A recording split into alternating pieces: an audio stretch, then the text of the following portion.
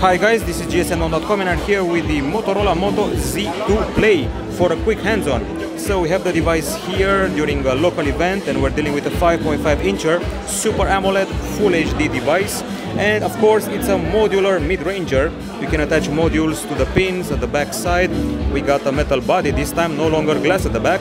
6 millimeters in thickness weighs 145 grams 3000 mAh battery and a 12 megapixel camera which from what I understood is the same sensor from the Galaxy S7 f1.7 aperture dual tone flash. At the front dual tone flash as well 5 megapixel shooter for the selfies and uh, Snapdragon 626 CPU as well as 4 gigabytes RAM and 64 gigabytes of storage.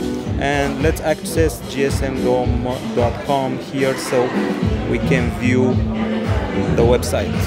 Here we go gsmdome.com hands-on with the Moto Z2 Play. Modular phone you can attach a 360 degree video photo capture module at the back. There's a gaming module there's a uh, battery module even a wireless charging module so we got quite a few things to attach. It's slim it's got a fingerprint scanner at the front similar to the moto g5 one and it's very very light compared to the technology inside so metal all the way this spins we still have an audio jack unlike the moto z usb type c port a slight protruding camera at the back side and that's about it. That's the whole package.